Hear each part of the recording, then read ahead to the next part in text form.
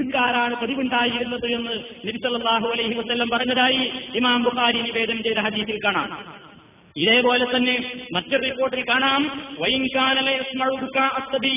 കുട്ടികളുടെ കരച്ചിൽ കേൾക്കുന്ന സമയമായാൽ അള്ളാഹുവിന്റെ റസൂൽ നിസ്കാരം ലഘൂകരിക്കും. മഹാപത്ത അവിടുന്ന് ഭയപ്പെട്ടതുകൊണ്ട് ഉമ്മുഹു. കരയുന്ന കുട്ടിയുടെ ഉമ്മയുടെ നിസ്കാരം വിഘ്നയാകുന്നത് പേടിച്ചിട്ട് നബി എന്ത് ചെയ്യും? വേഗം നിസ്കാരം അവസാനിപ്പിക്കും. അത് പെണ്ണുങ്ങൾ പള്ളിയിൽ വരുന്നു എന്നുള്ളതിന്റെ തെളിവാണ്. അതേപോലെ തന്നെ റസൂൽ മറ്റൊരു സഹാബി പറയുന്നു ഇന്നീല അസൂമു ഫിസ്സലാ ഞാൻ നിസ്കരിക്കാൻ വേണ്ടി നിൽക്കും. ഉരീദു അൻ ഉസബ്ബില ഫിഹാ. അങ്ങനെ നീട്ടി ഓതാൻ വേണ്ടി ഞാൻ ഉദ്ദേശിക്കും റസൂൽ പറയാണ് ബുകാ അസ്സബി.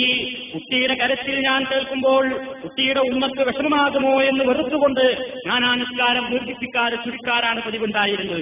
ഇതൊക്കെ മൗലൈമാരെ നിങ്ങൾ മനസ്സിലാക്കിയതാണ്. പെണ്ണുങ്ങൾ എന്ന് പറഞ്ഞാൽ ഈ ഹദീസ് ചോദിക്കൊടുത്തപ്പോ നമ്മുടെ നാട്ടിലുള്ള ഒരു മുസ്ലിയാര് പറഞ്ഞത് വളരെ രസാവഹമാണ്. അത് മുസ്ലിരാരെ നിങ്ങൾ മനസ്സിലാക്കിയതുപോലെയല്ല. നബിന്റെ കാലത്ത് റസൂലുള്ളാഹിയുടെയും സഹാബത്തിന്റെ ഒക്കെ വീട് പള്ളിയുടെ അടുത്തേരും അപ്പോ നബിയോടൊപ്പം നിസ്കരിക്കുമ്പോൾ സഹാബത്ത് ആണുങ്ങൾ നിസ്കരിക്കുകയാണ് പള്ളിയിൽ പോയി. പെണ്ണുങ്ങളൊക്കെ വീട്ടിൽ തന്നെയാണ് മുകളിമാരെ നിങ്ങൾ മനസ്സിലാക്കിയതുപോലെ പള്ളിയിലല്ല. ഒരാളുടെ ആശയമാണ് എന്നിട്ട് നിന്നെ നബി എന്തിനാ ചുരുക്കിയത്? നബി മനസ്സിലാക്കിയത് ഈ കുട്ടികൾ ഇങ്ങനെ കരയുമ്പോ ഈ കുട്ടികളന്മാര് വീട്ടിലിരിക്കുമ്പോ എന്തുമാത്രം വിഷമുണ്ടാവും എന്ന് മനസ്സിലാക്കിയിട്ടാണ്. അല്ലാതെ പള്ളിയിൽ വന്ന പെണ്ണുങ്ങളല്ല നോക്കണങ്ങൾ വ്യാഖ്യാനത്തിന്റെ പോക്കും. എങ്ങനെ? നബി എന്തിനാണ് നിസ്കാരം ചുരുക്കിയത്? പെണ്ണുങ്ങളൊക്കെ വീട്ടിലാണ് അപ്പൊ വീട്ടിൽ തന്നെ അങ്ങനെ കേൾക്കും പള്ളിയിൽ നിന്ന് കുട്ടികളെ കൂട്ടകരിച്ച് അപ്പൊ നബി നിസ്കാരം വേഗം ഒഴിവാക്കും. എന്തേ കാരണം? ഈ പെണ്ണുങ്ങൾ ഇങ്ങനെ വിചാരിക്കണം. ഓ നബി വിചാരിക്കണം.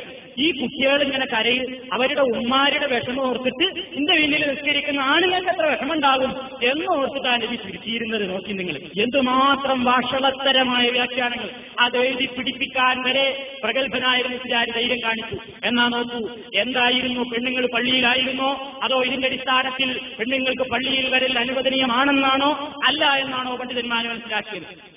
ഇബിന് ഹജർ റഹ്മത്തുള്ളാഹി അലൈഹി ഫത്തുഹിൽ ബാരി വിശദീകരിക്കുന്നു വസ്തദല്ല ബിഹാദൽ ഹദീസി. ഈ ഹദീസിൽ നിന്ന് തെളിവ് പിടിച്ചിട്ടുണ്ട്. എന്ത്? പല കാര്യങ്ങൾ പറയുന്ന കൂട്ടത്തിൽ അദ്ദേഹം പറയുന്നു വാലാ ജവാദ് സലാത്തിൻ നിസായി. സ്ത്രീകൾക്ക് നമസ്കരിക്കൽ അനുവദനീയമാണ്.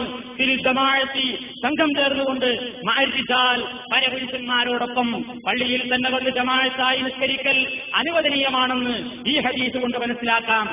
ബാരി രണ്ടാം ജുസ് നൂറ്റി അറുപത്തി ഒന്നാമത്തെ പേജിലാണ് അദ്ദേഹം ആ വിഷയം സമർപ്പിച്ചിട്ടുള്ളത്.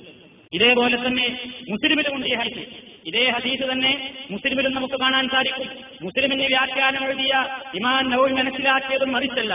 അദ്ദേഹവും പറയുന്നു വസീഹി ഈ ഹദീസിൽ നിന്ന് നമുക്ക് മനസ്സിലാക്കുവാൻ സാധിക്കും. എന്ത്? ജവാദ് സ്വലാത്തിൽ സ്ത്രീകൾക്ക് നിസ്കരിക്കൽ ജായിദാണ് അനുവദനീയമാണ്. ആരോടൊപ്പം മാരിജാലി പുരുഷന്മാരോടൊപ്പം എവിടെ? തൊട്ടടുത്ത വീടുകളിൽ വന്നുകൊണ്ടല്ല. ഫിൽ മസ്ജിദി പള്ളിയിൽ തന്നെ നിസ്കരിക്കൽ അനുവദനീയമാണ്. അതേപോലെ തന്നെ ഈ ഹദീസിൽ നിന്ന് വേറെയും കാര്യങ്ങൾ മനസ്സിലാക്കാം. കരഞ്ഞ കുട്ടികൾ പള്ളിക്ക് പുറത്തല്ല.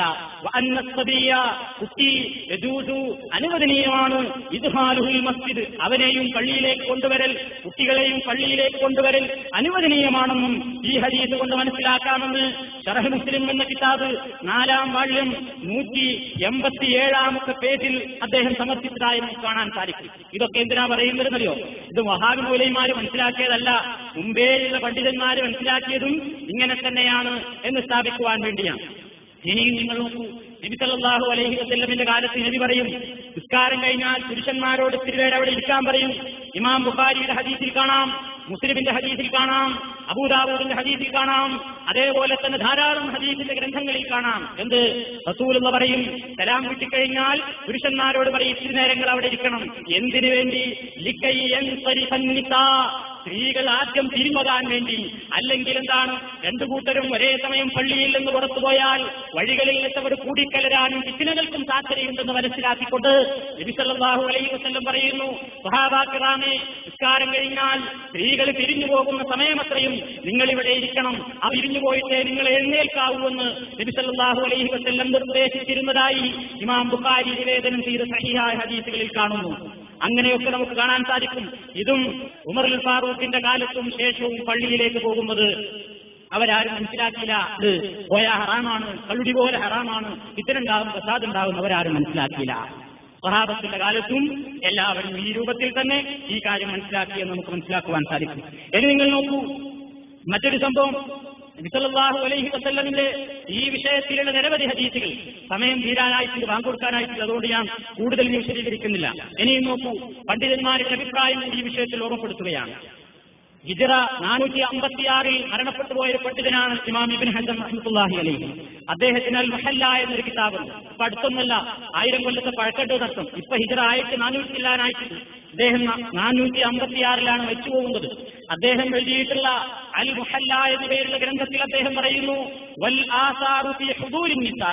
സ്ത്രീകൾ പങ്കെടുക്കൽ സ്വലാത്തൽ ജമാഅത്തി ജമാഅത്തായിട്ട് നിസ്കരിക്കാൻ വേണ്ടി റസൂലുള്ളാഹി സ്വല്ലല്ലാഹു അലൈഹി വസല്ലം. റസൂലുള്ളാഹിയോടൊപ്പം പങ്കെടുക്കാമെന്നതിനുള്ള രേഖകൾ മുത്തവാക്കിറക്കും ധാരാളക്കണക്കിന് റിപ്പോർട്ടുകൾ വന്നിട്ടുണ്ട്. അങ്ങേയറ്റം സഹീഹായ പരമ്പരയോടുകൂടെ തന്നെ വന്നിട്ടുണ്ട്. ലാ യുൻകിറു ദാലിക ഇല്ലാ ജാഹിലുൻ ജാഹിലല്ലാതെ അത് നിഷിദ്ധമാണെന്ന് പറയുകയില്ല.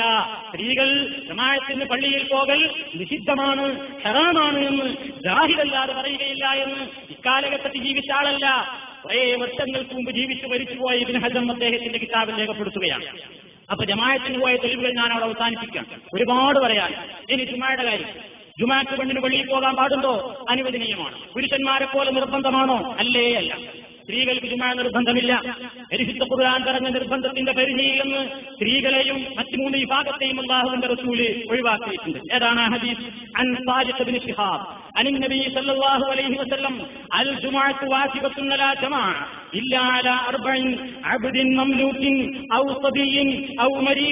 ബിൻ നാല് വിഭാഗം ആളുകൾക്കല്ലാത്ത മുസ്ലിം സമൂഹത്തിലെ എല്ലാവർക്കും ജുമാ നിർബന്ധമാണ്. ആരാണ് ഈ നാലാളുകൾ ഒന്ന് ആബിദിൻ മംലു അടിമ. അടിമക്ക് ജുമാ പങ്കെടുക്കൽ നിർബന്ധമില്ല. ഔ സബിയും കുട്ടികൾ. കുട്ടികൾക്കും ജുമാ നിസ്കാരം നിർബന്ധമില്ല. ഔ മരീദിൻ രോഗിയാണ്. പള്ളിയിൽ പോകാൻ പറ്റാത്ത രോഗമുണ്ടെങ്കിൽ അവനും നിർബന്ധമല്ല. അവിമ്രഹത്തിൻ സ്ത്രീകൾക്കും ജുമാ നിർബന്ധമില്ല. എന്നാലോ ഒരു പെണ്ണ് പള്ളിയിൽ പോകാൻ ഉദ്ദേശിക്കുകയാണെങ്കിലോ പോയ ആവൾക്ക് ദൂരസ്കരിക്കണോ പോയാ കൂലിണ്ടോ? തീർച്ചയായും ഉണ്ട്. നബിസല്ലാഹു അലൈവല്ലം ജുമാക്ക് വരുമ്പോ കുളിക്കുന്ന കാര്യം പറഞ്ഞപ്പോ പറഞ്ഞു മൻ അത്തൽ ജുമാക്ക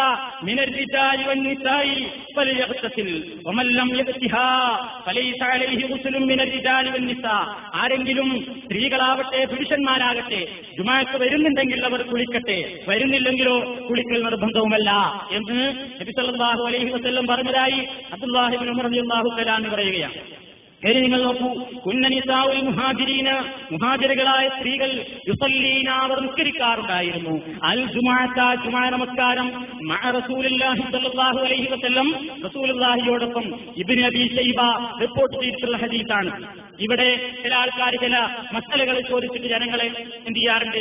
കുഴപ്പത്തിലാക്കാറുണ്ട്. സാധാരണക്കാരായ ആൾക്കാരോട് ചോദിക്കും അല്ലയോ ജനങ്ങളെ പെണ്ണിന് ജുമാക്ക് പോകൽ നിങ്ങൾ പറയുന്നത് എന്താണ്? സുന്നത്തല്ലേ. ഓക്കെ സുന്നത്താണ്. എന്നാ പിന്നെ പെണ്ണ് പള്ളിയിൽ പോയ പെണ്ണി പള്ളിയിൽ ജുമാക്ക് പോകൽ സുന്നത്ത് സുഹൃസ്കരിക്കലോ നിർബന്ധം. അപ്പൊ പിന്നെ അവൾ ജുമാക്ക് പോയിട്ട് സുന്നത്തെടുത്തതുകൊണ്ട് സുഹൃന്റെ കടം വീടുവോ? ഇങ്ങനെയാണ് ചോദിച്ച് മനുഷ്യനെ വിഷമിപ്പിക്കാറില്ല. സത്യത്തിൽ അതൊരു തെറ്റിദ്ധാരണയാണ്. ഏതുപോലെ സ്ത്രീയെ സംബന്ധിച്ചിടത്തോളം സ്ത്രീ മാത്രല്ല യാത്രക്കാർ രോഗികൾ അടിമകൾ സ്ത്രീകൾ എന്നിവർക്കൊക്കെയും വെള്ളിയാഴ്ച ദിവസങ്ങളിൽ ദൂരനിസ്കരിക്കൽ നിർബന്ധമല്ല. ജുമാ നിസ്കരിക്കലും നിർബന്ധമല്ല നിർബന്ധമല്ല. പ്രത്യേകം മനസ്സിലാക്കണം നബി ഒഴിവാക്കി പറഞ്ഞ നാല് കൂട്ടം ആളുകൾ രോഗികൾ കുട്ടികൾ അടിമകൾ സ്ത്രീകൾ ഇവർക്കൊന്നും വെള്ളിയാഴ്ച ദിവസം ജുമഴയും നിർബന്ധമാകുന്നില്ല മുഹറും നിർബന്ധമാകുന്നില്ല. ഏതാണ് പങ്കെടുത്തതെങ്കിൽ അത് നിർബന്ധമാകുന്നു മാത്രം. ജുമാക്ക് പോയാൽ ഒരു കട നിർബന്ധം. ജുമാ നിസ്കരിച്ചാൽ പിന്നെ പുല്ല് പള്ളിയിൽ വന്നിട്ട് പിന്നെ ബഹുസ്കരിക്കണോ? വേണ്ട. ഏതുപോലെ കുട്ടികൾക്ക് ജുമാക്ക് പോകൽ നിർബന്ധമല്ല കുട്ടി ജുമാക്ക് കുട്ടിയുടെ കാര്യം പോട്ടെ. കുട്ടിക്ക് ദൂരം നിർബന്ധമല്ല എന്ന് പറഞ്ഞു രോഗി രോഗിയായ മനുഷ്യൻ അല്ലെങ്കിൽ യാത്രക്കാരൻ അയാൾക്ക് ജുമാ നിർബന്ധമല്ല അയാൾക്ക് ഏതാ നിർബന്ധം? ബഹു നിർബന്ധമാണോ? അല്ല. ഏതാണ് സൗകര്യപ്പെടുന്നതെങ്കിൽ അതാണ് അയാളെ സംബന്ധിച്ചിടത്തോളം നിർബന്ധം. പള്ളിയിൽ പോയിട്ട് ഒരു യാത്രക്കാരൻ ജുമാ നിസ്കരിച്ചാൽ ഏയ് എനിക്ക് ജുമാ നിർബന്ധമല്ലല്ലോ എന്ന് വിചാരിച്ച് പിന്നെ അയാൾ റൂമിൽ വന്നിട്ട് വേറെ ദൂരസ്കരിക്കണോ വേണ്ട. അപ്പൊ ഇത് മനുഷ്യനെ ഒരു തെറ്റിദ്ധരിപ്പിക്കൽ മാത്രമാണ് ജുമായോ ലുഹറോ ഏതെങ്കിലും ഒന്നാണ് നിർബന്ധമാകുന്നത് ഏതാണ് തെരഞ്ഞെടുക്കുന്നതെങ്കിൽ അത് നമുക്ക് ഇഷ്ടമുള്ളത് തെരഞ്ഞെടുക്കാനുള്ള സ്വാതന്ത്ര്യമുണ്ട്. ഈ രീതിയിലാകരുത് ജുമാ നിർബന്ധം. അതല്ലാതെ ലുഹറിന്റെ മുമ്പ് രണ്ടരക്കാലത്ത് സുന്നത്തിക്കരിക്കും പോലുള്ള സുന്നത്താണല്ല. ഇങ്ങനെ ആൾക്കാർ വിചാരിച്ചു. ഇത് ചോദിക്കും ലുഹറിന്റെ മുമ്പ് രണ്ടരക്കാലത്ത് സുന്നത്തിക്കരിച്ചോലും പിന്നെ ലുഹറിസ്കരിക്കാം പിന്നെയും നിസ്കരിക്കണ്ടേ അപ്പൊ സുന്നത്തെടുത്തതുകൊണ്ട് പറഞ്ഞിന്റെ കടം കൂടോ? അങ്ങനെ ചോദിച്ചാൽ തെറ്റിദ്ധരിപ്പിക്കാം മനസ്സിലാകുന്നില്ലേ നിങ്ങൾക്ക് ഇനിയും ചോദിക്കാം വിഷയത്തിൽ? അപ്പൊ ഞാൻ പറഞ്ഞു വരുന്നത് സ്ത്രീക്ക് ജുമായോ ദുഹറോ ഏതാ വേണ്ടതെങ്കിൽ തെരഞ്ഞെടുക്കാം. ജുമ തെരഞ്ഞെടുക്കുന്നുവെങ്കിൽ അവൾക്ക് അത് മതി. ഇത് പണ്ഡിതന്മാരൊക്കെ പറഞ്ഞിട്ടുണ്ട്. എല്ലാ ഫിഖിന്റെ ഹിസാബുകളിലും കാണാം. എന്ത്? അമൻ സഹത്ത് ദുഹുറുഹു മിമ്മൻ ലാ ജുമാഅത അലൈഹി സഹത്ത് ജുമാഅത്തുഹു ഇജ്മാഅൻ ഫിഖിന്റെ ഒരു കിതാബാണ് ഇബ്നു ഹജർ ഇബ്നു ഹജർ പിന്നെ ഇബ്നു ഹജർ റഹ്മത്തുള്ളാഹി അലൈഹി എഴുതിയിട്ടുള്ള തുഹ്ഫ എന്ന് പറയുന്ന കിതാബ്. അതിൽ നമുക്ക് കാണാൻ സാധിക്കും. എന്താണ്? അമൻ സഹത്ത് ബുഹുറുഹു മുഹർ ശരിയാവുന്ന ആളുകൾ അതായത് ജുമാ നിർബന്ധമല്ലാത്ത ആളുകൾ സഹത്ത് ജുമാക്കു അവൻ ജുമാ നമസ്കരിച്ചാൽ അതും ശരിയാകും.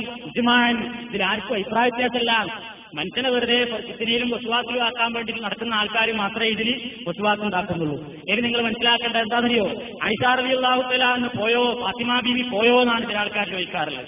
ഐഷാ ബീവിയുടെ ജീവിതത്തിൽ ഒരൊറ്റ ജുമാക്കുവായതായി തെളിയിക്കാമോ മൗലവി സാഹിബെ? ഫാത്തിമ ബീവിയുടെ ജീവിതത്തിൽ ഒരൊറ്റ ജുമാക്കുവായതായി തെളിയിക്കാമോ? എന്തിനാ അങ്ങനെ ചോദിക്കുന്നവരെ? ആ ചോദ്യത്തിൽ തന്നെ മനസ്സിലാക്കാൻ ബേജാറായിട്ടുള്ള ചോദ്യമാണ്. എന്താ കാരണം? വേറുള്ളവരൊക്കെ പോയി എന്നൊക്കെ തെളിവുണ്ട് നിഷേധിക്കാൻ വയ്യ. അപ്പൊ പിന്നെ ചോദിക്കുക ആഴ്ച പോയോ ഫാത്തിമ പോയോ? അത് പേരായാലും ഉണ്ടാവില്ലല്ലോ. ഉണ്ടാവില്ല. ഒരാൾക്കൊരു പൊതു നിയമം പറഞ്ഞാൽ അതിലെല്ലാവരും പെട്ടു. അതീതിൽ പറയുന്നത് എന്താണ്? സത്യവിശ്വാസികളായ സ്ത്രീകൾ അതിൽ ആയിഷ ബീവിയും പെടും ഫാത്തിമ ബീവിയും പെടും. അതിൽ അവർ പെടൂരാൻ എവിടെയും പറഞ്ഞിട്ടില്ല. അപ്പൊ അതുകൊണ്ട് തന്നെ സ്ത്രീകൾക്ക് ജുമാക്കും ജമാഅത്തിനും പങ്കെടുക്കാം. ഇമാം ഷാഫി റഹ്മത്തുള്ളാഹി അലൈഹി പറയുന്നു വേറൊരു വാക്യം കൂടെ കേൾപ്പിക്കുകയാണ്. ഉമ്മിൽ ജുമാ നിർബന്ധമില്ലാത്ത സ്ത്രീകളും പ്രായപൂർത്തിയാകാത്ത കുട്ടികളും അടിമകളുമൊക്കെ ഇമാമ് ജുമാ തിരിഞ്ഞതിന്റെ ശേഷം അവർ മുഹുസ്കരിക്കണതാണ് ഞാൻ ഇഷ്ടപ്പെടുന്നത്. എന്റെ അവർക്ക് ജുമാക്ക് വരാൻ പറ്റുന്നുണ്ടെങ്കിൽ അതാണ് കയ്യറൻ ലഹു അവർക്ക് നല്ലത്. അപ്പൊ പെണ്ണുങ്ങൾക്ക് പള്ളിയിൽ വരുന്നില്ലെങ്കിൽ തന്നെ അവർ പള്ളിയിൽ വരാൻ സൗകര്യപ്പെടുന്നുണ്ടെങ്കിൽ അവർക്ക് അതാണ് നല്ലത് എന്ന് ഇമാം ഷാഫി അദ്ദേഹത്തിന്റെ ഗ്രന്ഥത്തിൽ പറയുകയാണ്. ഇനി ഒരൊറ്റ ഒന്ന് രണ്ട് കാര്യം കൂടെ പറഞ്ഞുകൊണ്ട് അവസാനിപ്പിക്കാം. സ്ത്രീകൾക്ക് പള്ളിയെ സംബന്ധിച്ചാണല്ലോ വിഷയം. സ്ത്രീകൾക്ക് പർവനസ്കാരങ്ങൾക്ക് മാത്രമല്ല ജുമാക്ക് മാത്രമല്ല ദിവസങ്ങളോളം പള്ളിയിൽ തന്നെ പോയി എഴുത്തിക്കാത്തിരിക്കാൻ പറ്റുമോ? അതാണ് മനസ്സിലായി കഴിഞ്ഞാൽ പിന്നെ എല്ലാ വാദങ്ങളും പൊളിഞ്ഞു പോയല്ലോ പെണ്ണിന് എല്ലാ സമയവും ഒരു പത്ത് ദിവസം പള്ളിയിലാണ് ചടഞ്ഞുകൂടാൻ പറ്റുമോ? ഇക്കാഫ് എന്ന് പറഞ്ഞാൽ എന്താ? പള്ളിയിൽ തന്നെ ചടഞ്ഞുകൂടൽ എന്നാണ് എഴുത്തിക്കാഫ് പുരുഷന് വരെ സുന്നത്തായ കാര്യമാണ്. ഇത് സ്ത്രീകൾക്ക് പറ്റുമോ? ചെയ്താൽ കൂലിണ്ടോ കൂലിണ്ട് എന്നാ മനസ്സിലാകുന്നത്. ആരാ തെളിവ്? നബിസല്ലാഹു അലൈഹി വസല്ലമും പ്രവാചകന്റെ ഭാര്യമാരും. നോക്കി നിങ്ങൾ. നിവേദനം. അലൈഹി റമദാന. റമദാനിലെ അവസാനത്തെ പത്ത് ദിവസങ്ങൾ പള്ളിയിൽ എഴുത്തിക്കാത്തിരിക്കാറുണ്ടായിരുന്നു. പുരാൻ അദ്ദേഹത്തെ ഒപ്പാത്താക്കുന്നത് വരെ മരണം വരെ റസൂലുള്ള പള്ളിയിൽ എഴുത്തിക്കാത്തിരിക്കാറുണ്ടായിരുന്നു റമദാനിന്റെ അവസാനത്തെ പത്തിൽ. സുമ്മഴത്തക്കഫ ഇനിയുള്ള പദം പ്രത്യേകം മനപ്പാടാക്കി വെച്ചുള്ള സുമ്മഴത്തക്കഫ പിന്നീട് എഴുത്തിക്കാത്തിരുന്നു അസുവാജുഹു. റസൂലുള്ളാന്റെ സൗദകൾ. ഭാര്യമാര് മിൻ റസൂലുള്ളാന്റെ മരണശേഷം നബി മരിച്ചതിന്റെ ശേഷം നബിയുടെ ഭാര്യമാര് പള്ളിയിൽ എഴുത്തിക്കാത്തിരിക്കാറുണ്ടായിരുന്നു ഇമാം ബുഖാരിയുടെ ഹദീസിൽ കാണാം മുസ്ലിമിന്റെ ഹദീസിൽ കാണാം. എത്രത്തോളം ബ്ലീഡിംഗ് ഉള്ള സമയത്ത് വരെ എഴുത്തിക്കാത്തിരുന്നിരുന്നു എന്നാണ്. ബ്ലീഡിംഗ് എന്ന് പറയുമ്പോൾ തെറ്റിദ്ധരിക്കണ്ട. പെണ്ണുങ്ങൾക്ക് രണ്ട് നിലക്കുണ്ടല്ലോ ഒന്ന് അറബിയിൽ ഇസ്തിഹാദത്തിൽ അത് ബ്ലീഡിംഗ് അത് രോഗം കാരണമായിട്ട് പോകുന്ന ചോരയാണ്. അതാണ് ബ്ലീഡിംഗ് മറ്റേത് മെൻസസ് ആണ് ഹൈവ് അതുണ്ടായാലും പെണ്ണിന് പള്ളിയിൽ പോകാൻ പാടില്ല. ഇവിടെ നമ്മൾ പ്രത്യേകം മനസ്സിലാക്കണം. രോഗമുണ്ടായിട്ട് ബ്ലഡ് പോകുന്ന അവസരത്തിൽ വരെ അവരുടെ ഇരിപ്പിടത്തിൽ പ്രത്യേകം പാത്രം വെച്ചുകൊണ്ട് പള്ളിയിൽ ചോരയാവാതിരിക്കാൻ പ്രത്യേകം പാത്രം വെച്ചുകൊണ്ട് പോലും പുണ്യമാശിച്ചുകൊണ്ട് പ്രവാചകന്റെ ഭാര്യ പള്ളിയിൽ കാത്തിരുന്നിരുന്നുവെന്ന് എന്ന് പറയട്ടെ. കാലത്ത് എഴുത്തക്കപ്പത്ത് എഴുത്തിക്കാത്തിരുന്നു അലൈഹി അള്ളാഹുവിന്റെ റസൂലിനോടൊപ്പം ഇമ്പത്തും പ്രവാചകന്റെ ഭാര്യമാരിൽ ഒരു ഭാര്യ. അവൾ രക്തം കാണാറുണ്ടായിരുന്നു ബ്ലീഡിംഗ് ഉള്ള സമയത്ത് തന്നെ വസ്തു തഷ്ടഹ വഹിയത്തുതല്ലി നിസ്കരിക്കാതിരിക്കുമ്പോൾ പള്ളിയിലിരുത്തി അടിയിൽ പാത്രം വരെ വെച്ചിട്ടായിരുന്നു അവർ നിസ്കരിച്ചിരുന്നത് എന്ന് ഇമാം ബുഖാരി നിവേദനം ചെയ്ത ഹദീസിൽ കാണാം. ഹദീസിന്റെ വ്യാഖ്യാനത്തിൽ നവവി ഇമാം നവവി മുസ്ലിമിൽ അദ്ദേഹം പറഞ്ഞതായി നമുക്ക് കാണാൻ സാധിക്കും. ഈ ഹദീസുകളുടെ ഹദീസുകളുടെ അടിസ്ഥാനത്തിൽ നമുക്ക് മനസ്സിലാക്കാം. പള്ളിയിലല്ലാതെ ശരിയാവില്ല ചില ആൾക്കാർ വരെ അത് വീട്ടിലെ പള്ളിയാണ്. അത് വീട്ടിലെ പള്ളിയായിരുന്നു നമ്മ പറയുന്നത്. വീട്ടിലെ പള്ളിയല്ല. പള്ളിയിലല്ലാതെ പറ്റൂല. കാരണം എന്തേ? അന്നൻ നബിയെ സല്ലല്ലാഹു അലൈഹി വസ്ല്ലം നബിയും വാസുവാദഹു നബിയുടെ ഭാര്യമാരും വാസഹാബഹു നബിയുടെ സഹാബത്തും ഇന്നമഴത്തക്കപ്പൂ അവരെഴുത്തിക്കാത്തിരുന്നിട്ടുള്ളത് ഫിൽ മസ്ജിദി. പള്ളിയിൽ മാത്രമാണ്. ഫീ മുലാസമത്തിഹി. പള്ളിയിൽ തന്നെ ഇരിക്കുന്നതിൽ വിഷമമുണ്ടായിട്ട് പോലും അവരവിടെയാണിരുന്നത്. പല ഉദാസത്തിൽ ബൈത്തി. വീട്ടിലേക്ക് കാത്തിരിക്കൽ ജായിതായിരുന്നുവെങ്കിൽ ലഫഅലൂഹു സഹാബത്തും ഭാര്യമാരും അത് ചെയ്യുമായിരുന്നു. വലൗ മറത്തൻ ജീവിതത്തിൽ ഒരിക്കലെങ്കിലും ചെയ്യുമായിരുന്നു. ലാസിയമന്നിസ പ്രത്യേകിച്ച് പെണ്ണുങ്ങൾ സ്ത്രീകളെ വീട്ടിലാണല്ലോ പള്ളിയിലേക്കാൾ അവർക്ക് കൂടുതൽ ആവശ്യം വീട്ടിലല്ലേ? എന്നിട്ട് പോലും അവർ വീട്ടിലിരുന്നില്ല. എവിടെയായിരുന്നത്? പള്ളിയിലാണ് കാത്തിരുന്നത് ഷറഹ് മുസ്ലിം എട്ടാം വാള്യം അറുപത്തിയെട്ടാമത്തെ പേജിൽ നമുക്ക് കാണാൻ സാധിക്കും. എനിക്ക് രസകരമായ ഒരു കാര്യം കൂടെ മനസ്സിലാക്കും. ഇതൊരിക്കൽ നമ്മുടെ നാട്ടിൽ നിന്ന് പ്രസംഗിച്ചപ്പോ ഞാനൊരിക്കൽ പറഞ്ഞപ്പോ ഒരു മുസ്ലിയാര് പറഞ്ഞു കണ്ടോ മുജാഹിദ് മൗലവിയുടെ പൂതി. ഇതുവരെ പെണ്ണിനെ ഉയർന്നു കിട്ടിയാൽ മതിയായിരുന്നു. ഇതുവരെ പെണ്ണിനെ ഒരു ആഴ്ചയിലൊരിക്കൽ ജുമാറ്റ് കിട്ടിയാമായിരുന്നു ഇപ്പൊ മൗലൈമാര് പറയുന്നത് പെണ്ണിനെ കത്തീശം തന്നെ ഓനെ ആക്കി കൊടുക്കണം എന്നാണ് വഷളത്തരം പറഞ്ഞുകൊണ്ട് സമൂഹത്തെ കൈയടിച്ച് ചിരിപ്പിച്ച ആ വ്യക്തി മനസ്സിലാക്കുന്നുണ്ടോ? അള്ളാഹുവിന്റെ റസൂലിന്റെ കാലത്തും ശേഷവുമാണ് ഈ സംഭവം നടന്നത്. ഇനി നിങ്ങൾ നോക്കൂ ഗുരുവ്യാഖ്യാനത്തിന്റെ വേറെ എക്സാമ്പിൾ പരിശുദ്ധ റമദാനിൽ കണ്ണൂർ ജില്ലയിൽ ഒരു സ്ഥലത്ത് ഞാൻ ജോലി ചെയ്തുകൊണ്ടിരിക്കെ ഒരു സ്ഥലത്ത് തിയ്യൂർക്കാരനായ ഒരു മുസ്ലിയാരി ഒരു റമദാനിനെ പറ്റി ഒരു ലഘുലേഖ ഇറക്കി. അതിൽ ഇഴ്ത്തിക്കാഫ് എന്നുള്ളൊരു ഹെഡിങ് കൊടുത്തു. ഇഴ്ത്തിക്കാഫിന്റെ പോരിശയൊക്കെ പറയണം അദ്ദേഹം. എന്നിട്ട് അദ്ദേഹം പറഞ്ഞു നബിസല്ലാഹു അലൈഹി സ്വല്ലമിന്റെ കാലത്ത് നബി എഴുത്തിക്കാഫിക്കാരുണ്ടായിരുന്നു നബിസല്ലാഹു അലൈഹി സ്വല്ലമിന്റെ മരണശേഷം നബിയുടെ ബന്ധുക്കളും എഴുത്തിക്കാഫിക്കാരുണ്ടായിരുന്നു അസുവാജുഹുലിന് അർത്ഥം കൊടുത്തത് ആ ബന്ധുക്കൾ. എവിടെ അങ്ങനെ അർത്ഥമുള്ളത്? ഭാര്യമാര് എന്ന് പറഞ്ഞാൽ ആ പീസ് അപ്പ കൂട്ടേണ്ടി വരും. അതുകൊണ്ട് മനസ്സിലാക്കിയത് ബന്ധുക്കൾ അർത്ഥം കൊടുത്തു തൃപ്തിപ്പെട്ടു. ഇതൊക്കെ ദുർവ്യാഖ്യാനങ്ങളാണ്. ഫിഖിഹിന്റെ കിതാബുകളിൽ മലയാളത്തിലുള്ള പരിഭാഷകൾ വരെ പരിച്ചു നോക്ക് ഇത്തിക്കാത്തിരിക്കുന്നതിന്റെ നിയമങ്ങൾ അതിൽ വിശദമായി തന്നെ പ്രതിപാദിക്കുന്നു. ഇനിയും ഒരൊറ്റ വിഷയം കൂടെ പറഞ്ഞുകൊണ്ട് അവസാനിപ്പിക്കുകയാണ്. അപ്പൊ ഞാൻ പറയുന്നത് ഐഷാബി പോയോ? അതേപോലെ തന്നെ ചുമക്ക് ഏതെങ്കിലും ഒരു പെണ്ണുപോയതായി തെളിയിക്കാമോ എന്ന് പറയും ഒരു കാര്യം മനസ്സിലാക്കണം. പത്ത് ദിവസമാണ് എഴുത്തുകാത്തിരിക്കുന്നത് പത്ത് ദിവസം എഴുത്തുകാത്തിരിക്കുമ്പോൾ ഒരു വെള്ളിയാഴ്ച നിർബന്ധമായിട്ട് ജോലി വരും. ആ വെള്ളിയാഴ്ച പെണ്ണ് എഴുത്തുകാത്തിരിക്കുന്നിടത്ത് ഹേ ഇനി നമുക്കൊരു പാടില്ല എന്ന് പറഞ്ഞിട്ട് ഓടി വീട്ടിലേക്ക് ഓടി എവിടെയെങ്കിലും ഉണ്ടോ? എവിടെയില്ല. അപ്പൊ എല്ലാ നിസ്കാരവും ചുമഴക്ക് അവർ എവിടെ നിന്ന് നിസ്കരിച്ചത് പള്ളിയിൽ നിന്ന് നിസ്കരിച്ചത്. ആരാ ഇത് അനുവദിച്ചത്? റസൂലുള്ള. റസൂലുള്ളയുടെ ശേഷം പിന്നെ ആരാത് ചെയ്തത്? അവിടുത്തെ പ്രിയപ്പെട്ട ഭാര്യമാര്. ഇതൊന്നും മുസ്ലിം ലോകത്ത് തർക്കമില്ലാത്ത കാര്യം ചില ആൾക്കാർ പറഞ്ഞു കുടുങ്ങിയതാ. ഇനിയിപ്പോ അനുവദനീയാന്ന് പറഞ്ഞാൽ എന്തായി പോകും അതുകൊണ്ട് ഇപ്പോ ബേജാറായിട്ട് എന്താ ചെയ്യണം? പടിപടിയായിട്ട് അവർ രംഗത്ത് വരികയാണ്. എങ്ങനെ? വനിതാ മസ്ജിദുകൾ സ്ഥാപിച്ചപ്പോ. കോഴിക്കോടും പല സ്ഥലങ്ങളിലുണ്ട് വനിതാ മസ്ജിദ്. എന്തേ? പെണ്ണുങ്ങൾക്ക് ഇങ്ങനെ ഉസ്കരിക്കാൻ വേണ്ടി ഒരു സ്ഥലം നമ്മൾ കെട്ടിക്കൊടുക്കുക. ആ. എന്നിട്ട് അതിന് പേര് മാറ്റിട്ട് പ്രേയർ ഹാൾ. ഇത് പേരായാലെന്താ പ്രേയർ ഹാളെന്നോ എന്തോ ആയിക്കോട്ടെ ഉസ്കരിക്കാൻ പോകാൻ പറ്റുമോ? പറ്റും. അപ്പൊ പടിപടിയായിട്ട് വരികയാണ്. ഈ കുറച്ച് ദിവസം കഴിഞ്ഞാൽ വരും? പെണ്ണിങ്ങനെ വെക്കുമ്പോ കാത്തിക്കുന്ന ആണിനൊരു വിഷമാവില്ല. അതുകൊണ്ട് അപ്പുറത്ത് ഒരു റൂം ഉണ്ടാക്കിയിട്ട് ആണോ അതിൽ നിസ്കരിച്ചോട്ടെ എന്ന് പത്ത് വരും അപ്പൊ ക്ലിയറായി അപ്പൊ ആണും പെണ്ണിനൊക്കെ പോകാനായി. ഇത്രമാത്രം ഈ വിഷയത്തിൽ വളരെയധികം വസ്തുനിഷ്ഠമായ തെളിവുകൾ നോക്കൂ. സ്ത്രീകൾക്ക് തറാവീഹിൽ വരാമോ? രാത്രി നിസ്കാരത്തിന് പെണ്ണുങ്ങൾ വരാറുണ്ടായിരുന്നോ? നബി സല്ലല്ലാഹു അലൈഹി കാലത്ത് നബിയു അലൈഹി മസ്ജിദ. നബി ഒരിക്കൽ പള്ളിയിൽ പ്രവേശിച്ചു നോക്കുമ്പോൾ അവിടെ മംദൂദുൻ ബൈന രണ്ട് തൂണുകൾക്കിടയിൽ ഒരു കയർ ഇങ്ങനെ കെട്ടിയിട്ടിട്ടുണ്ട്. ചോദിച്ചു മാ ഹാദൽ ഹബിൽ? എന്താണെന്ന് പള്ളിയിൽ ഒരു പ്രത്യേക കയർ സഹാബത്ത് പറഞ്ഞു സൈനബ. നിസ്കരിക്കാൻ നിൽക്കുമ്പോ ഫൈദാ സത്തറത്ത് താലപ്പത്ത് ഇതിങ്ങനെ നീട്ടി ഓതല്ലേ തറാവീഹിന്? രാത്രി നിസ്കാരത്തിന് നീട്ടി ഓതുമ്പോ ക്ഷീണം തോന്നുമ്പോ അവർക്ക് കയറും വല്ലതും ഇങ്ങനെ പിടിച്ചു നിൽക്കാൻ വേണ്ടിയുള്ള കയറാണിത്. ആർക്ക്? സൈനബാ ബീവിക്ക് അപ്പൊ നബി സല്ലല്ലാഹു അലൈഹി വസല്ലം പറഞ്ഞില്ല പാടില്ല. ഹുല്ലുഹു അത് അഴിച്ചു മാറ്റി. യുസല്ലി അഹദുക്കും നിങ്ങളിൽ ഒരാൾ നിസ്കരിക്കട്ടെ നശാത്തഹു. ഉന്മേഷമുള്ള സമയത്ത് നിസ്കരിക്കുക. പൈതാ പത്ര ക്ഷീണം തോന്നുന്നുണ്ടെങ്കിൽ കയറുമ്പോ തൂങ്ങി നിൽക്കല്ല വേണ്ടത്? അപ്പോഴത് അവിടെ ഇരുന്നോട്ടെ. എന്ന് നബി സല്ലല്ലാഹു അലൈഹി വസല്ലം പറഞ്ഞു. ഈ ഹദീസിന്റെ വിശദീകരണത്തിൽ കാണാം. ഫത്തുഹുൽകാരി മൂന്നാം വാള്യം ഇരുപത്തിയെട്ടാമത്തെ പേജിൽ പറയുന്നു ഈ ഹദീസിൽ നിന്ന് മനസ്സിലാക്കാം. ഹിദാലത്തിൽ മുൻകരിവിൽ യതിവല്ലിസാൻ വെറുക്കപ്പെട്ടൊരു കാര്യം പള്ളിയിൽ കണ്ടാൽ നമുക്കതിനെ നീക്കാവുന്നതാണ്. വജവാസു തനപ്പുലിന്നിസായി ഫിൽ മസ്ജിദി. വജവാസു അനുവദനീയമാണ്. തനപ്പുലിന്നിസായി സ്ത്രീകൾക്ക് സുന്നത്ത് നമസ്കാരവും നിർവഹിക്കാം ഫിൽ മസ്ജിദി. പള്ളിയിൽ എത്തിയെന്ന് ബാരി മൂന്നാം വാളിലും ഇരുപത്തിയെട്ടാമത്തെ പേജിൽ അദ്ദേഹം വിശദീകരിക്കുന്നു. അപ്പോ പർവനിസ്കാരത്തിന് മാത്രമല്ല ജുമാക്ക് മാത്രമല്ല ജമാഅത്തുകൾക്ക് മാത്രമല്ല മറ്റുള്ള സുന്നത്ത് നമസ്കാരങ്ങൾക്കും സ്ത്രീകൾക്ക് പള്ളികളിൽ പങ്കെടുക്കാവുന്നതിന് പ്രവാചകന്റെ കാലത്തും ശേഷവും എല്ലാ കാലത്തും തെളിവുകളുണ്ട്.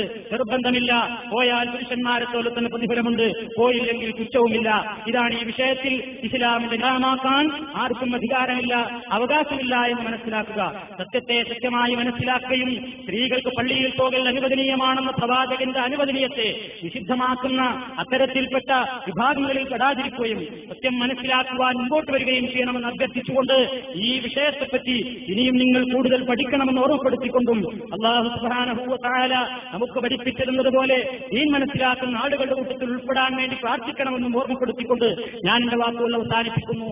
അള്ളാഹു സുബ്ഹാനഹു താല നമ്മുടെ പാപങ്ങൾ പുറത്തു തരുമാറാകട്ടെ. ഇസ്ലാമികമായ ആചാരാനുഷ്ഠാനങ്ങൾ പ്രവാചക തിരുമേനി കാണിച്ചിരുന്നതുപോലെ ജീവിതത്തിൽ പകർത്തുന്നവരിൽ നമ്മയെല്ലാം ഉൾപ്പെടുത്തുമാറാകട്ടെ اللهم ربنا تقبل منا انك انت السميع العليم ربنا اغفر لنا ذنوبنا واسرافنا في امرنا ربنا لا تؤاخذنا ان نسينا واخطانا واخر دعوانا ان الحمد لله رب العالمين والسلام عليكم ورحمه الله وبركاته